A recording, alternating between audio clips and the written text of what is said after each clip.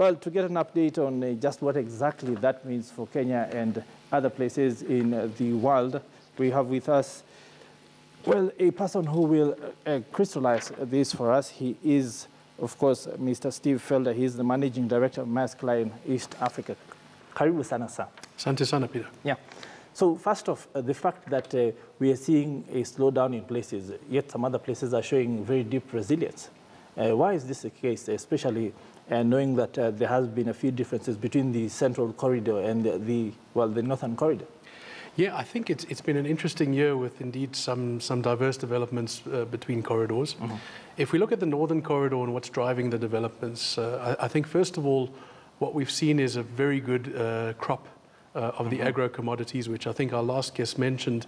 Agriculture is indeed the backbone of these economies, yes. and uh, and we see no different. Uh, uh here in the northern corridor. Mm -hmm. So that has, has definitely been uh, one of the key driving factors, uh, yes. along with sustained weak currencies, weaker currencies fairly along the northern corridor, particularly mm -hmm. in Uganda, mm -hmm. although it's firmed up a bit lately. Mm-hmm. And um, I think we, we so you know, export growth is, is, is, is fairly buoyant, uh, mm. one could say.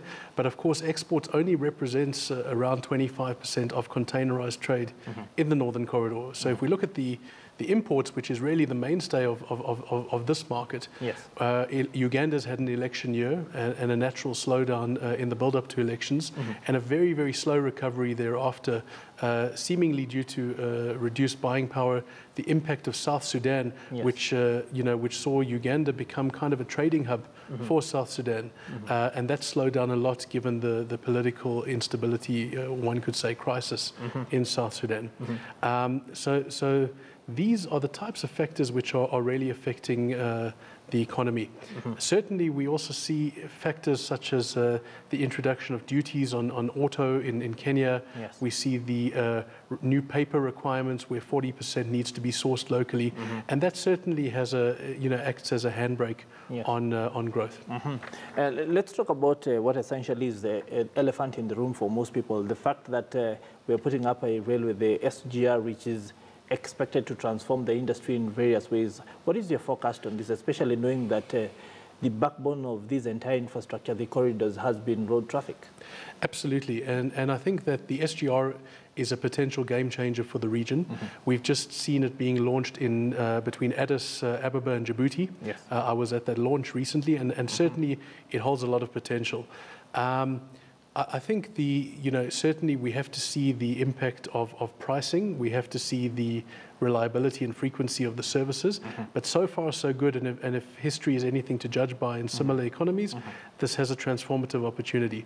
There still is a major disconnect along the value chain where, uh, for example, it costs uh, more than uh, triple to bring a container from uh, Mombasa port into South Sudan mm -hmm. than it does to bring that same container from Shanghai to Mombasa. Wow. So I think the, the opportunity for transforming inland logistics, reducing the cost, improving the efficiency through the introduction of the SGR is generally a very positive one. Mm -hmm. uh, there have been, uh, has been the construction of uh, new roads. Uh, uh, for example, the north, the road through Nairobi, Moyale, which then goes into Ethiopia, parts of southern Sudan, and that sort of thing. Do you think this will have significant impact in planning down the costs that we are talking about?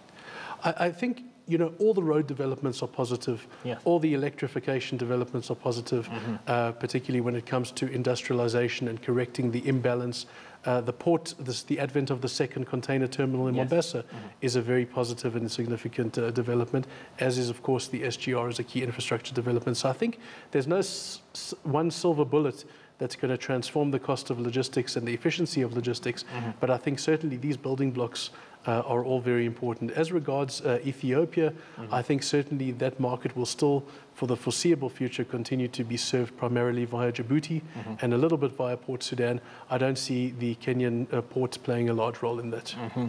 Uh, let's uh, talk about uh, two final things before I let you go. First, the diversification agenda, the fact that even with this part of the world being mostly agricultural, there has been a move to start adding value to be able to drive up exports as we see them and uh, to serve, uh, start serving different uh, parts of the world uh, apart from the traditional ones. What do you think we have to get right to be able to start to crystallize this? Again, Peter, I don't think there's a single solution. I think yeah. it's a series of solutions. I think, first of all, we have some natural ingredients which, which bode well. Mm -hmm. We have a, a, a very uh, sizable and, and, and fairly low cost labor force in this part of the world. Yes. We have improving electrification and the cost of electricity is reducing slowly. Uh, and, and I think we have a strategic location relative to many parts of the world. Uh, I, I think that it, it takes a lot of focus, it takes a lot of diligence.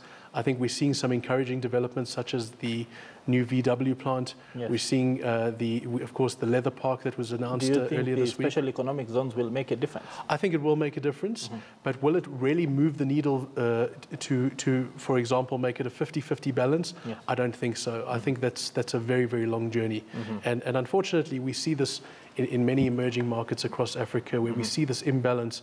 But I think anything that can move the needle a little bit is, of course, very positive. Uh, as an African, personally, I, would like to see this happening. I would like to see more value addition, like to see more industrialization. And I think we are slowly starting to see it, but we have a long way to go. Okay, indeed. Uh, thank you, sir, for taking the time to talk to us. Uh, Mr.